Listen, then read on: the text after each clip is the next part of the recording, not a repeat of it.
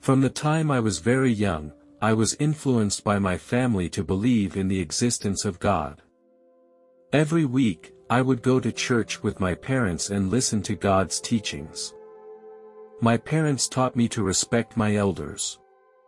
They also taught me to help those who are in trouble. I have never touched illegal drugs because I understand the dangers of drugs to one's physical and mental health as well as to society. I know that as a Christian, I have a responsibility to protect myself and others from harm. When I was 19 years old, I tried alcohol, but I soon realized it wasn't for me. I was repulsed by the taste. I also understood that alcohol was potentially harmful to the human body. As a result, I decided to give up drinking to keep myself sober and healthy. My greatest hobby is fishing and hunting with friends. When I was 20 years old, I got my first job as an apprentice in an auto repair shop. This job was both an opportunity and a challenge for me. While saving the money I earned, I worked hard to learn auto repair skills and continue to improve my professionalism. From simple maintenance to complex engine troubleshooting, I tried to do my best. I dream of owning my own auto repair shop one day. Although this job is very hard, I know it is the only way to realize my dream. I had to rely on my own efforts to change my fate. After four years of hard work, I finally realized my dream. With the support of my friends, we opened a garage together. This was an important moment in my life and I felt proud and satisfied. On July 3, 2004, I worked late in the store that day. Due to financial constraints, I could not afford an electric lift, so we often worked with a hydraulic jack. Working with a hydraulic jack can be a relatively laborious and time-consuming task. While I was checking the car chassis, an accident happened. The hydraulic jack suddenly deflected and the car's chassis pressed against my chest. I instantly felt severe pain, breathing became extremely difficult. I struggled hard. But could not move my body. I could only call for help in the pain. Due to the lack of oxygen and severe pain, the sound I made was very faint. At that moment, I was in a state of panic and helplessness. I could only lie there in pain. Time seemed to become a blur, and I could not determine how long I had been lying there. Slowly, I drifted off to sleep. When I awoke, a sharp pain in my chest reawakened me. I realized that I was not free from my predicament. This repeated torture made me feel desperate. As time passed, I stopped feeling the pain. Suddenly, I was floating above the car. I looked down and found my body lying there, as if it had stopped breathing. Just then, a spinning black hole appeared around me, drawing my attention. It radiated a mysterious power, and I approached the portal curiously. The moment I stepped into the portal, a powerful force surrounded me. I felt myself moving at lightning speed. The portal was translucent, and I could see clearly what was outside. I saw myself leaving the Earth's atmosphere and my body moving fast through the galaxy. The stars were shining beautifully. I felt a sense of infinite freedom that was so intense. I have heard many people say that a light appears at the end of the tunnel. I can now tell you responsibly that it is true. When I entered that light, I was pushed out by a force. I instantly arrived at a peaceful and beautiful meadow. This meadow was filled with green grass, and a gentle breeze blew against them. This meadow was filled with all kinds of flowers, each emitting a charming fragrance. As I continued to walk along the meadow, I felt a sense of peace and harmony. I noticed that the flowers here were in many colors I had never seen before, and they bloomed with a glorious light, as beautiful as a rainbow. After a while, I came to a clear stream. A small wooden bridge spanned over the stream. When I crossed the bridge, I saw a house. The house was surrounded by a garden. A man approached me. As he drew closer, I was surprised to find that he looked almost identical to me. My mind was filled with confusion and I couldn't help but ask, why do you look like me? I was full of doubts. He smiled and replied, I am your twin brother. This answer confused me even more, because I had never heard that I had a twin brother. I replied firmly, I don't have a twin brother. He laughed and gently explained that I was born very healthy. But he unfortunately died young. I was shocked to hear this news. He invited me to come with him to his home. I felt his warmth and sincerity, so I followed him into the house.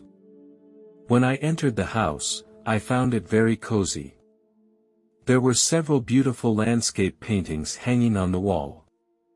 The furniture was neatly arranged. I sat with him on the comfortable sofa. We continued to talk and share our experiences with each other. His voice was gentle and infectious, and every word was full of wisdom. He told me about his unique perspective on the world. Together we discussed the meaning of life. He gave me profound insights that helped me better understand and face the challenges in life. In his home, I gradually came to understand the true meaning of life. He invited me to go for a walk in the garden with him.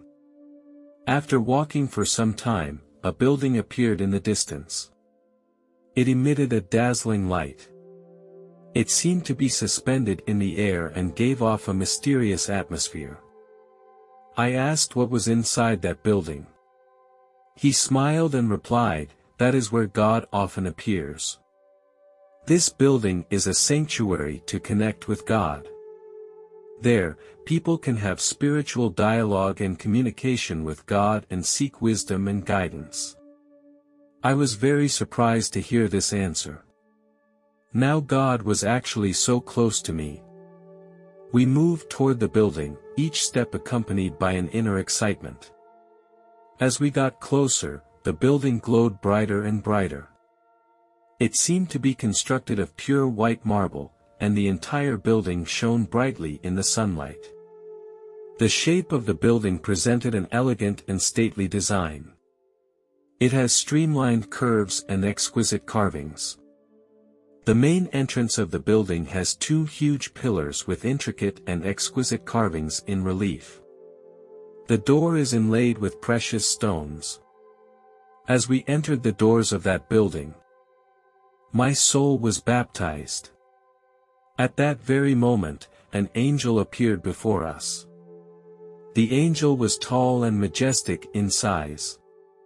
Her wings seemed to be woven of pure light. Each feather shone with a silvery glow. The angel wore a long, white robe that fluttered gently. Her face is gentle and serene. Her presence emanated a divine aura, and the air around her seemed to become fresh and pure. The angel's voice was soft and warm. She told me that it was time to go back to my original life. To bring the knowledge I had learned back into the real world. Although I did not want to leave here, I understood that I had to go back now. With the guidance of the angels, I left the building. After I said goodbye to them, I went back into the portal and a powerful force pulled me forward. I traveled across the galaxy and back to Earth. The speed was like lightning. In an instant, I was back at the repair shop. The sun shone through the window on the floor, warm and bright. I knew that it was already the next morning. Suddenly, I heard someone open the door. I knew that I had to go back into my body and reconnect with the real world. I tried to lie down next to my body, but nothing worked. I felt confused and frustrated and didn't know how to go back. Just then, I heard a voice, as if it were a guide from deep within. It gently told me to enter through my head. I focused my mind and prepared to try again. My consciousness and body began to gradually merge and I could feel a warm energy flowing through me. When I opened my eyes again, I found that I had managed to get back into my body. I felt my breath and heard the beating of my heart. I realized that I had returned to the real world. I began to cry out for help, hoping to get my friend's attention. He was very worried about me and immediately called the emergency number of the fire department. Firefighters quickly arrived on the scene. The firefighters quickly launched a rescue operation, using specialized equipment to free me from my predicament. I was successfully pulled out of harm's way. I looked gratefully at the rescuers and expressed my gratitude to them. I was taken to the hospital for further examination and treatment. The doctors were surprised at my condition. I did not have broken ribs. Only extensive bruises and abrasions. To make sure I had no other potential injuries, the doctors decided to keep me in the hospital for two days for observation. After two days of observation, the doctors confirmed that I was in good health and did not experience any discomfort or complications. On the third day, I walked out of the hospital. Although my body was still a little tired, I felt very happy. This experience made me understand how fragile and precious life is. I returned home with great excitement, and the first person I wanted to see was my mother. My mother's face lit up with happiness and joy. She quickly walked towards me and hugged me tightly. After dinner, we sat together in a warm and cordial atmosphere.